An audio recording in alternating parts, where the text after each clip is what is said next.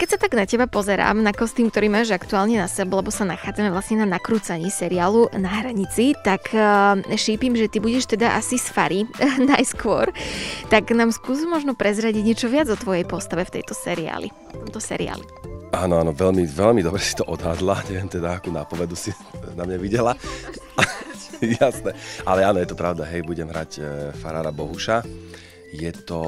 nie je to, ja si myslím teda podľa mňa, aspoň nie je to úplne klasický ten farár, ktorý akože,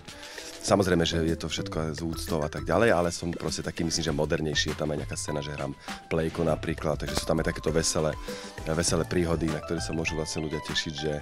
trošku toho farára sme poňali, myslím, že jemne inak, ale samozrejme je to normálne reálne farár a tak ďalej, a tak ďalej, čiže spomínaš plejko a teda, že to nie je až taký klasický farár, ale v čom je ešte taký iný? Že skús nám prezradiť ešte viac, aby sme sa mali na čo tešiť. Áno, on je taký, uh, mne sa zdá, že on je taký ako keby nie že detský, ale má stále v sebe akože takého chlapca, že on sa rád aj poteší niečomu, niečomu e, dokáže byť strašne smiešne, vtipné a tak ďalej, plus je zalúbený, hej, a, čiže aj to je taká jedna záplň, nechcem to úplne ďalej prezradať viacej, ale je tam aj táto linka,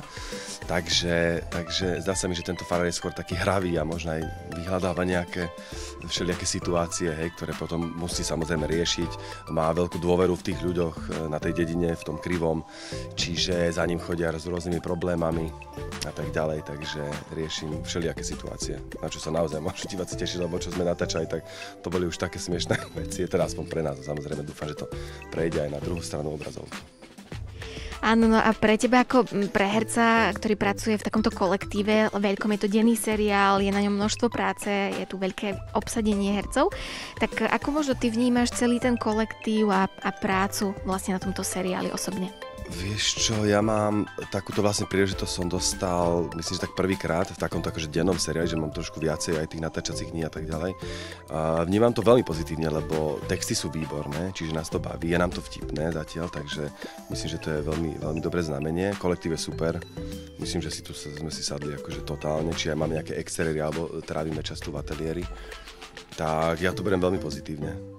teším sa na natáčanie vždycky. A myslím, že všetci aj v tej šatni to je cítiť, že sa bavíme aj o tých textoch, že je to sranda, čo ideme robiť teraz. Potom ešte režisér to postaví nejak, to úplne dostane niečo iné do, do toho. Takže, takže za mňa je to akože jeden veľký zážitok, ktorý bude trvať, dúfam, že čo najdlhšie. Áno, no seriál sa vyrába už niekoľko týždňov, takže už ste si niečo odžili uh, na ňom, tak vedel by si tak nejak zhodnotiť, že na čo sa diváci tak globálne môžu najviac tešiť v tomto seriáli, že prečo by si mali pozrieť seriál na hranici podľa teba? No ja si myslím, že najmä kvôli tým ľudským príbehom, ktoré sa tu odohrávajú, to si myslím, že určite, a už navolajú, takže to poviem, čiže, čiže myslím, že určite kvôli tomu, to sú tu rôzne charaktery, ktoré sú myslím, že veľmi, veľmi vďačné takže divák určite sa má na čo tešiť. Akože nehovorím to iba kvôli tomu, že všetci to vždy hovoríme všade, ale myslím si, že teraz toto, toto je trošku niečo iné.